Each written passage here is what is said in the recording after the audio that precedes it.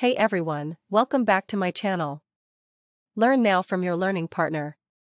Today, I'm going to show you how to create a world map in Power BI using a web page for population. This is a great way to visualize data and gain insights into population trends around the world. Step 1 Set up your Power BI dashboard. First, you'll need to set up your Power BI dashboard. If you don't have Power BI yet, you can download it for free from Microsoft's website. We have created a video which will show you step by step how to download the Power BI. Once you have Power BI installed, create a new dashboard and give it a name. Step 2 Add a map visual. Next, you'll need to add a map visual to your dashboard. To do this, click on the Visualizations pane on the right side of your screen, and then select Map from the list of available visuals. Step 3 Import your population data. Now it's time to import your population data. You can do this by clicking on the Fields pane on the left side of your screen, and then selecting Web from the list of data sources. From there, we can enter the URL of a web page from Wikipedia which contains list of countries and dependencies by population. We need to wait for a few seconds in order to get a pop-up window from where we will select the table which has the population. Now the pop-up window has appeared. We will select Table 3, which has the country name and the population and from the below option we will select the Transform button. When we click the Transform button the Power Query window will pop up on the screen, from here we can clean the data as per the requirement, we will be covering in detail about the Power Query and how to use it in our upcoming videos. For now we will quickly delete the first column, we'll rename the two column to the country and third column to the population.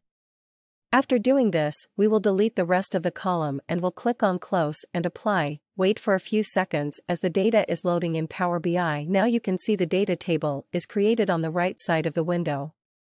We will expand it and now we can see the country and population column are added to the data. We will go to the visualization pane and will add the map.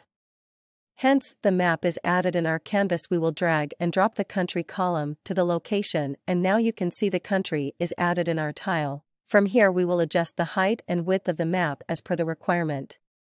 Next we will drag and drop the population to the bubble pane. Now we can see the country which has the largest population is having a larger bubble and the country which is having the smallest population, the bubble size is smallest. Step 4. Configure your map visual. Once you've imported your population data, you'll need to configure your map visual.